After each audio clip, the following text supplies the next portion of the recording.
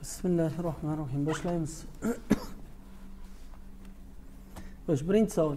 Elektronning antizarrasi. Proton? Pozitron. Ikkita foton bor. Ikkinchisining impulsi ikki marta ortiq. Ikkinchisining impulsi ikki marta ortiq. Birinchi fotonning tezligi c bo'lsa ikkinchisiniki c taqsim ikki bo'ladimi? Nima edi? Eynshteynni postulati ikkinchi postulati. Yorug'likning tezligi kuzatuvchining yoki manbaning tezligiga bog'liq emas. Fotonni tezligi hamisha c u vakuumda tarqalayotgan bo'lsa. Impuls farq qilsa ham c. Impulsi farq qilsa nimani hisobidan farq qiladi? Massaning hisobidan farq qiladi. Elektron va pozitron berilgan. Ularning elektr ta'siri qanday? Tortishadi. Shundaymi avaz? Nima uchun tortishadi? A ha elektron zaryadi qanaqa? Ha? Elektron musbatmi manfiy pozitron musbat. Qayerdan bildik pozitronni musbatligini? Ishonmayman desam qanday aytasizlar? Antizarrachasi ha? Uran yadrosining quyidagi bo'linish reaksiyasida ajralgan e, sirkoniy yadrosida nechta proton bor? Sirkoniyni zaryadi necha ekan? Qirq. Qirq bo'lsa yoki tartib raqami qirq bo'lsa protonlari ham qirqta bo'ladimi? Qirqta bo'ladi tamom. Og'zaki tushunaymi ruxshona? Xo'sh. Shu reaksiyada ajralgan seriy yadrosida nechta neytron bor? Mana seriy ellik sakkizu bir yuz qirq ekan. Neytronlar sonini qanday topamiz? Bir yuz qirqdan ayiramiz ellik sakkizni. sakson ikkita neytron bor ekan xo'sh sirkoniy yadrosi bitta protondan necha marta og'ir? Yadrosini massasi necha ekan? to'qson to'rt. To'qson to'rt marta? Og'irda tamom. Uran to'qson ikki ikki yuz o'ttiz besh izotopi yadrosi bir marta bo'linganda ya'ni bitta yadro ikki yuz sakkiz million elektron volt energiya ajraladi. Bir kilogrammi bo'linsachi qanday topamiz? Demak bir kilogrammida nechta atom borligini nima qilamiz? Topamiz. Keyin nima qilamiz o'shani? Keyin o'shani nechaga ko'paytiramiz ikki yuz sakkizga ko'paytiramiz bitta yadroda ikki yuz elektron volt chiqsa entasida qancha chiqadi? Tamom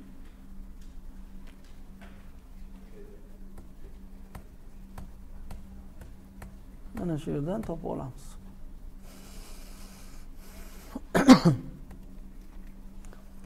Yemirilish mahsulotlari bilan muvozanatda bo'lgan bir gramm radiy izotopi har sekundda o'n to'rt butun ikki o'n darajasi o'n bir mega elektron volt energiya ajratadi. Ya'ni undan zarrachalar chiqqanda shuncha energiya chiqadi. Agar radioaktiv yemirilish energiyasi hisobiga o'n gramm suvni temperaturasini nol gradusdan yuz gradusgacha ko'tarish uchun kerak bo'lsa mana shunda qancha vaqt kerak bo'ladi? Shuni yechilishini kim tushuntiradi manga? Akbar shoh tushuntirib bilasizmi? Eshitdingizmi kimlar eshitdi shu masalani? Bitta nurullayevmi zufar teshayev. Tushuntiring teshayev. Nima qilamiz? Taxmin. Yo'q man kim yechdi dedim o'zi. Zufar o'zi eshitdingizmi zufar tushuntiring. Nima qilamiz?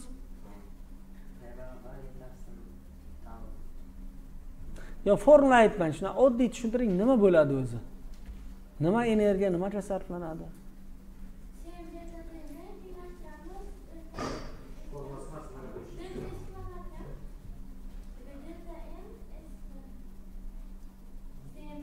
delta m nima kerak bizga o'zi energiya borku. Mana aytyapti tasavvur qilinglar. Mana shu yerga bir gramm yadro qo'ydim mana radiy qo'ydim. Shundan bir sekundda qancha energiya chiqyapti? o'n to'rt butun ikki o'n darajasi o'n bir mega elektron volt chiqyapti ha? Shu bilan nima qilmoqchi biza? Suvni isitmoqchi biza. Suvni isitish uchun qancha energiya kerak? Sm delta t kerak ha? Sm delta tni hisoblab bilamizmi massa bor c bor delta t bor. Delta t nechi avaz yuz noldan yuzgacha yuz bo'ladi delta t mi o'n gramm csi to'rt ming ikki yuz xo'sh shuni bir sekundda chiqqani yetadimi yetmaydi bu mega elektron voltda berilgan nimaga aylantirishimiz kerak joulga chunki c bu jovulda ya'ni bir kilogrammini bir kelvinga ko'tarish uchun to'rt ming ikki yuz joul kerak deyapti. O'n to'rt butun ikki yuz darajasi minus o'n bir mega elektron voltni joulga aylantirish uchun nima qilish kerak?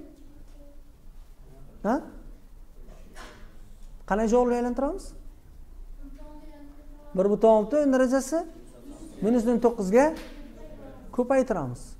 Bu bir sekunddagiisi bo'ladi. A bizga qandaydir n sekund ketyapti a bir sekundda shuncha chiqsa n sekundda qancha chiqadi? Shuni enga ko'paytiramiz. O'sha teng bo'lishi kerak sen delta tga tamom to'g'rimi? Mana bir sekundda shuncha chiqdi. Masalan bundan o'n barobar ko'proq kerak bo'lsa demak o'n sekund kerak. Yuz barobar ko'p kerak bo'lsa yuz sekund kerak. Har sekundda shunchadan chiqyaptiku ha? Ana energiya saqlanish qonunini mana shunday yozib bilishimiz kerak. Man quvvat bilan yozdim. O'zi bir sekunddagi e, o'sha energiyaga teng bo'lib qoladi o'zi quvvat. Oy nimadir? Qaytadan ko'raylik. Mana shu energiyalarni tenglashtiramiz shu yerdan tauni topib olamiz demak o'n sakkiz ming to'rt yuz sakson olti sekund kerak ekan ha? To'g'rimi? Qancha chiqdi? Ha unaqa javob yo'qku shunga yaqinroqku. Oling shu javobni tamom. Quyidagi termoid reaksiyasida nima zarra ajraladi? Qanday bilamiz? Xo'sh zaryaddan boshlaymiz. Reaksiyagacha zaryad bir plyus bir bu tomon nol demak nechi ekan zaryadi ikkida. Qanday to'rt bo'ladi? Ana. Biru bir nolu ikki. Tepasi ikkiyu uch biru to'rt. Demak zaryadi ikki massasi to'rt. Nima bu? Alfa zarra. Tamom zaryad va massaning saqlanish qonunidan topib oldik a elektron bilan pozitronni har birini tinchlikdagi energiyasi nol butun ellik bir mega elektron volt ekan. Ularni tinchlikdagi energiyasi necha joulga teng? Hozir aytdik qanday aylantiramiz joulga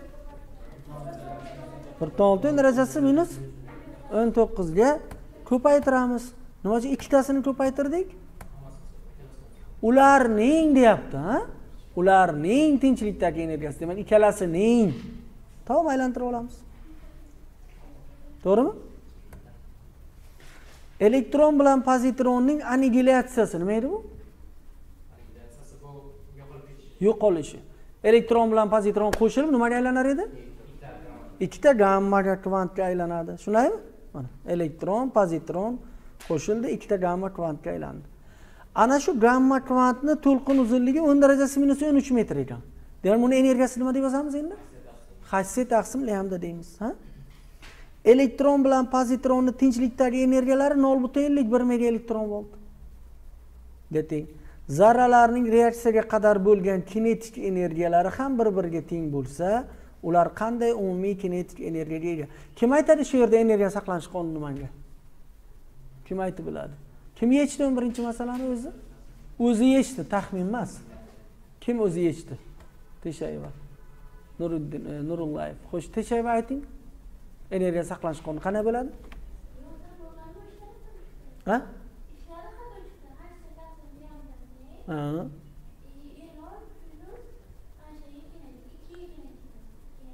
Hc taqsim hamda teng? Ana gammani o'rniga hasi taqsim hamda qo'ydingiz a uni oldida ikkisi ham borku. Ha? Ikkisi ham bormi? Xo'sh pozitron energiyasi qancha? Qanaqa energiyalari bor? Ana qarang bir tomondan pozitron kelyapti bir tomondan elektron kelyapti. Urushishga. Pozitronni qancha energiyasi bor? Qanaqa energiyasi bor? Kelayotganda. Kinetigi faqat kinetigi bormi? Yana nimasi bor? A tinchlikdagi energiyasi bor. Mana harakat qilayotgan bo'lsa demak ana harakat qilmasa faqat tinchlikdagi bor. Harakat qilsa tinchlikdagi va kinetik bor. Shunday tinchlikdagisi qancha? Nol tenglik bir ana. Kinetigi bilmaymiz kinetik. Shunday pozitronda ham shunday bunda ham shunday. Demak ikkita tinchlikdagi bor plyus ikkita kinetik bor. O'sha nimaga aylanib ketdi? Ikkita hasse taqsim aylandi tamom mana. Ana shu energiya saqlanish qonunini yozib bilsangiz shu yerdan ikkalasini kinetik energiyasini toping dedi ana. Kinetik energiyani topa olamiz lekin bizga ikkita toping dedi. Ikkalasini dedi ha? Xo'sh endi qarang. Bu mega elektron voltda. Tushunaymi? Kinetik energiyani ham mega elektron voltda topishimiz kerak. Endi hc taqsim ham mega elektron voltda chiqarishimiz kerakmi? Qanday qilamiz buni? Bu jouldaku bu. Bu yerda hni qaysini qo'yamiz? Mega elektron voltdaligini qo'yamiz. Ha. Sizga ana formulalar berilganda berilgan bo'ladi. Hozir so'rasangiz man aytar edim sizga. Qo'lingizga beriladiku jadval ha? O'shanda beriladi h ikkita beriladi u yerda h bittasi olti butun oltmish ikki yarim o'n darajasi minus o'ttiz to'rt joul sekund. O'shani o'zi teng to'rt butun bir yuz yigirma besh o'n darajasi minus o'n besh elektron volt sekund bo'ladi. Ana o'sha elektron voltligini qo'yishingiz kerak. Bo'lmasa xato chiqadi. Tushundingizlarmi? Zarrada ikkita elektron oltita neytron va uchta proton bo'lsa bu zarrani aniqlang. Kim o'zi yechdi shu masalani? Tamom ikki kishi yechdimi to'rt kishi. Marjona tushuntiring. Nimadan boshlaymiz gapni?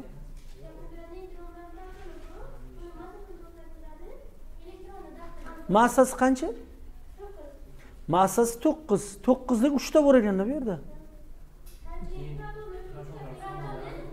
Ha? Demak zaryadi nechi bo'lishi kerak? Uch bo'lishi kerak? Uch. Elektron ikkita dediku? Biza proton sonini aytyapmiz. Xo'sh protoni uchta bo'lsa elektron ham uchta bo'lmaydimi? Nima uchun? Bu nima bu? Ion bu. Nima bo'lgan? Bitta elektroni chiqib ketgan. Elektron chiqib ketishi mumkin. Protonchi? Yo'q proton turaveradi joyida. Tushundingizlarmi demak bizni qiziqtiradi protonlar va neytronlar soni asosiy.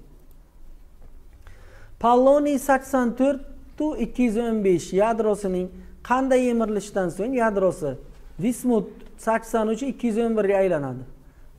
Zaryadi nima bo'lyapti? Bitta? Kamayyapti massasichi to'rtta kamayyapti nima bo'ladi? Massani kamaytirgan albatta alfa emirilish bo'ladi. Chunki beta emirilish massani kamaytirmaydi.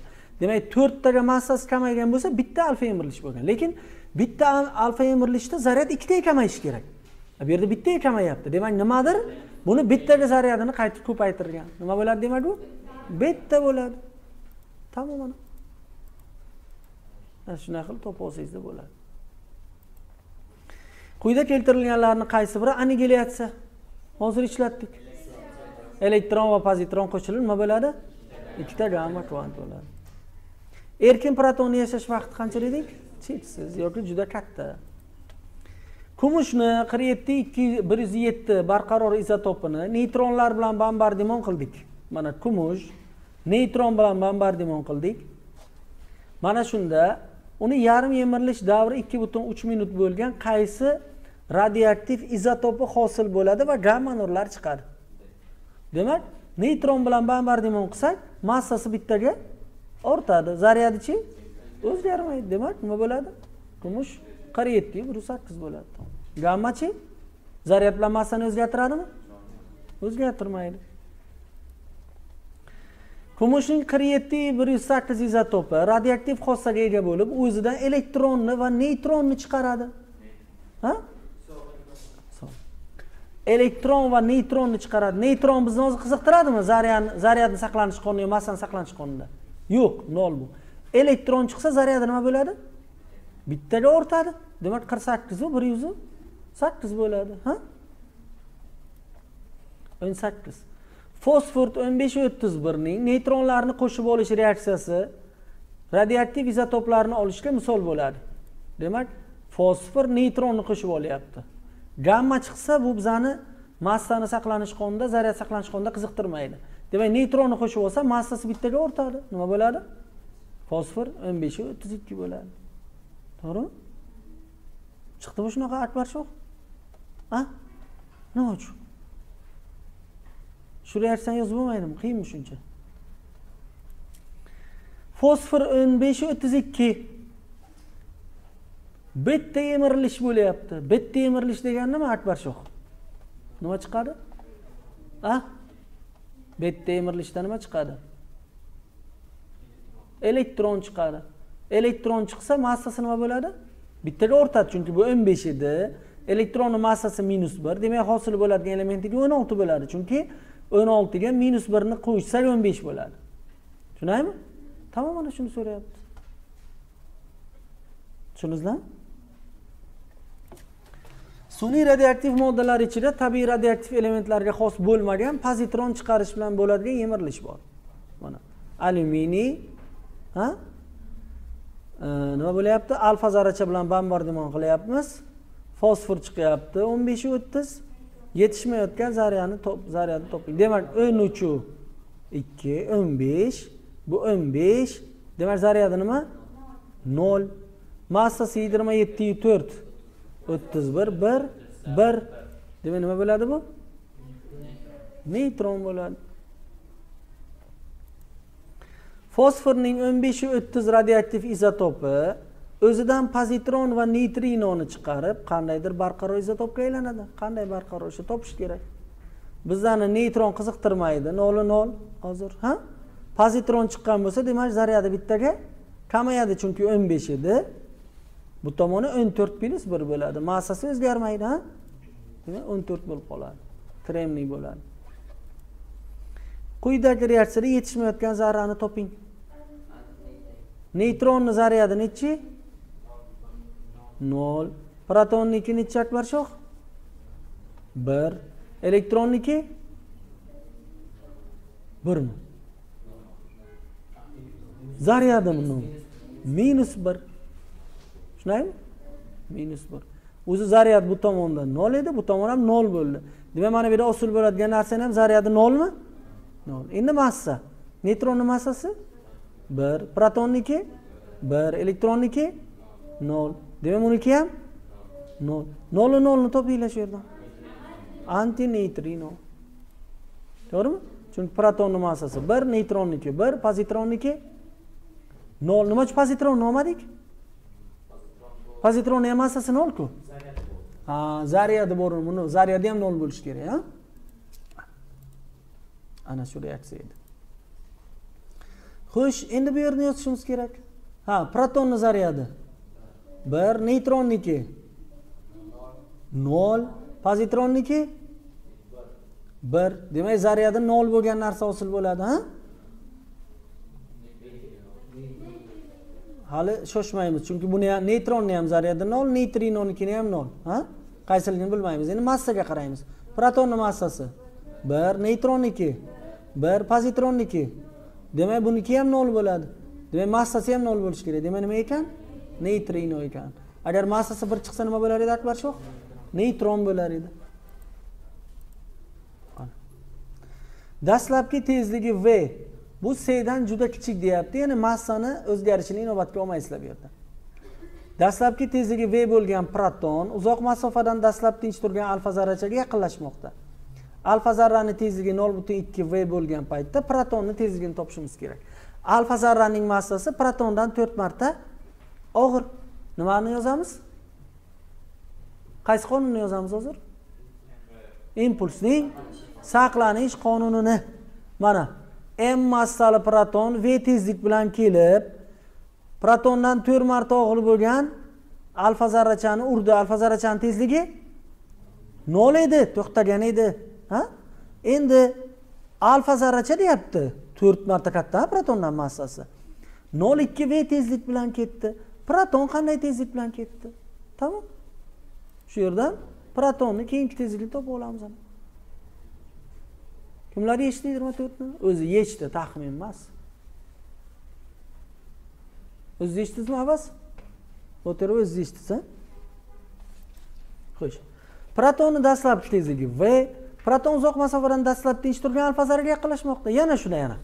M massali proton v tezlik bilan keldi alfa zarracha tinch ha? Endi protonni tezligi nol ikki v bo'lsa alfaniki qanday bo'ladi? Alfani massasi to'rt m ha? Buniki ham nol ikki v bo'lar edi tushunaymi? Protonni massasi m qarang tezligi yarim v. Endi alfa zarracha tinch turmabdi. Alfa zarrachani tezligi v. Tezliklar bir tomonga yo'nalgan. Nima qilamiz impulsni? Qo'shamiz a yig'indisini chunki vektor kattalik. Bu sistemaning impulsi desa nima qilamiz? Teshayva. Sistemani impulsi demak nima qilgan bular sistema bo'lgan ikkalasi birlashgan birga ketgan a birlashmagan bo'lsa ham mana yonma yon ketgan demak ikkalasini tezligi bir xil bo'ladi o'shani topishimiz kerak yoki bizlarga aytyaptiki e impulsini toping desa ikkalasini impulsini shunday qo'shib e qo'yamiz tamom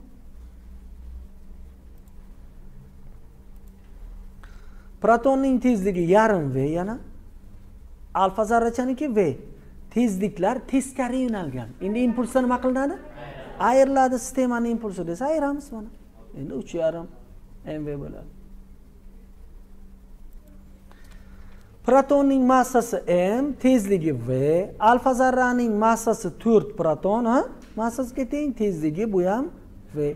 Tezliklar bir tomonga yo'nalgan. Yana qo'shamiz hozir eshitdik buni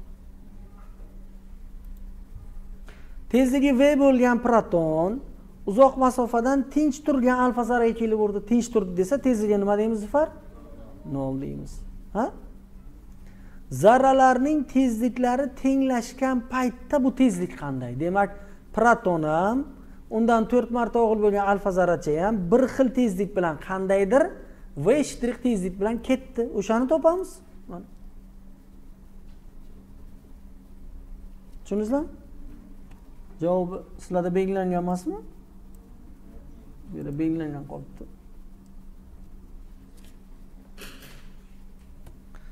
Qaysi baryonning ichki tuzilishi tasvirlangan? Qayerdan bilamiz? Zaryadlari qo'yilganmi sizlarda ham? Qo'shsak mana shularni zaryadi nima bo'ladi? Zaryadi nechi bo'ladi. Nol bo'ladi. Neytron.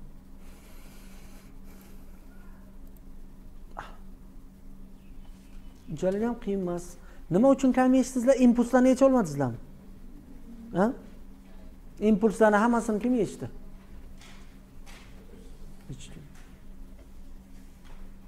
Hozir kimlar yechib biladi chiqib doskaga mana shu impuls masalalarini? Hech nima olib chiqmasdan o'zi chiqib birontasini so'rasam yechib bilasizlarmi? O'zlaringizga mana shunday savol beringlarda.